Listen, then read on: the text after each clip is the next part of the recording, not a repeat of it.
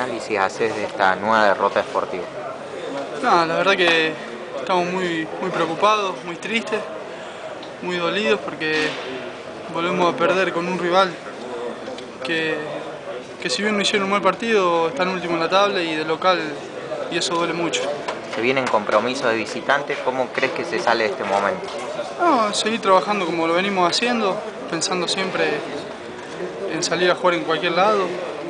Eh, está a la vista que, que, cualquier equipo le saca punto a cualquiera.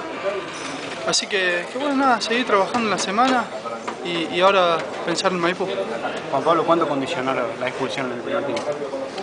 No, creo que cualquier expulsión condiciona mucho, eh, más cuando va un resultado adverso. Así que, que, que, nos dolió mucho, pero, pero bueno, creo que enseguida tratamos de pararnos bien, eh, tomamos muchas responsabilidades, estuvimos parados con línea de tres y, y si bien nos crearon situaciones de contragolpe, no, no tuvieron claras. Nosotros eh, buscamos por afuera, y, pero no fuimos, no fuimos efectivos. ¿Cómo analizan la situación, Juan Pablo, más allá de que este plantel tuvo un momento brillante en el torneo, hoy le toca pasar por uno que, que imagino que lo esperaban, ¿no? No lo quieren, pero lo esperaban por ahí. No, seguro, seguro, eh, duele mucho, pero como te digo, ahora ya estamos pensando en Maipú, vamos a seguir trabajando como lo venimos haciendo, de esta situación salimos todos juntos y, trabajando de la forma que, que, lo venimos haciendo.